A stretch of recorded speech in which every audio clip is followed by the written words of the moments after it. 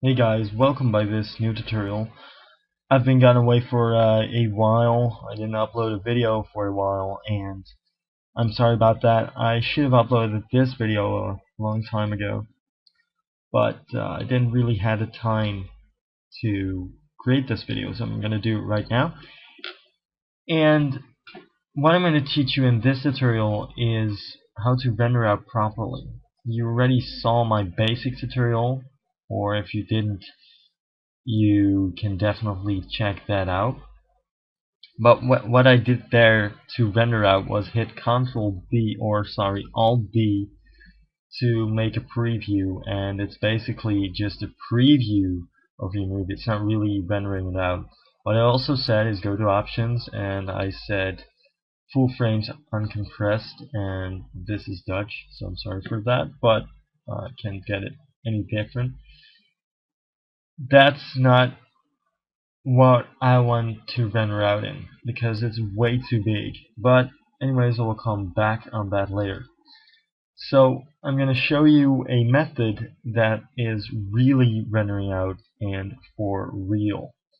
So yeah that's basically this tutorial. So all things that you have to do is basically hit Ctrl B to go to your render settings and here you have to tweak and adjust a couple of things and then you're ready to render it out. As you might have seen, I already created a, a simple animation so that's what we're going to render out real quick. Okay, so go back to your render settings. You can also press this little button to go to the render settings. And I have set here uh, width and a height. It, it's just standard, so that's good.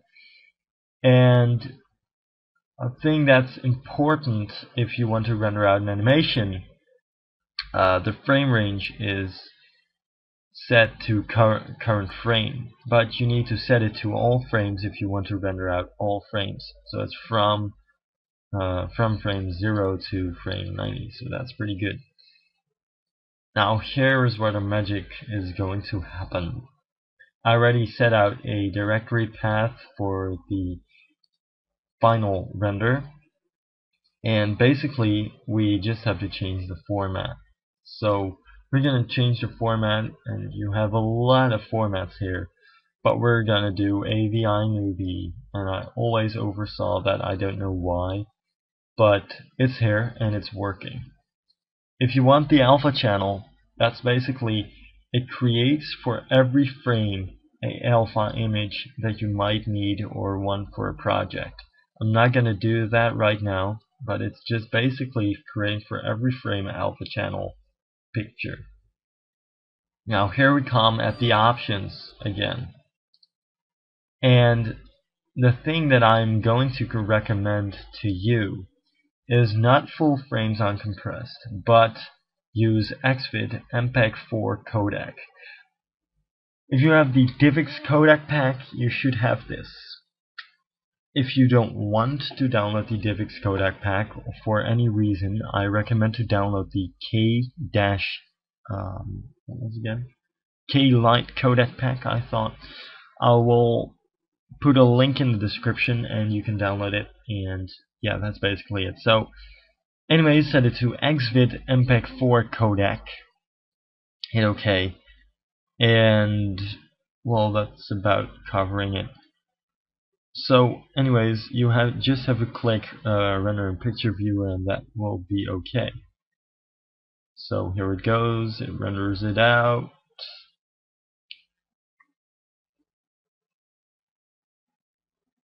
And it's almost done. There we go. It's done. So, yeah, here's our AVI file, and if we're gonna view it, show in File Explorer, and here we have it. It's an AVI file, which is totally working on the K-Lite codec pack. So it's a DivX render out file, which is pretty good. Anyways, that was it for this tutorial, and I'm sorry I was so late for with this tutorial, but uh, I didn't just have the time to create this video. So anyways, thanks for watching. Please put thumbs up and please subscribe if you like uh, my tutorials. So yeah, I'm gonna see you in next tutorial. Please send me requests or something because I'm kind of out tutorials now. So yeah, just send me a personal message or something with a request. I uh, will look if I can make some time to create those. Okay guys, thanks for watching and uh, please leave comments.